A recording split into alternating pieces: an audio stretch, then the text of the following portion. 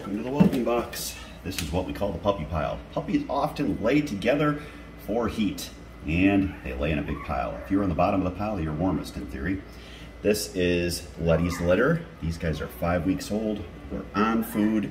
We're starting the weaning process and we're doing great. We are Soggy Acres Retrievers, soggyacres.com.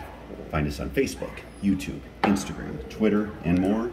And check out our podcast. We have the Sporting Dog Adventures podcast as well as the Hunting Guy podcast on iTunes, Spotify, and most plat- podcast platforms.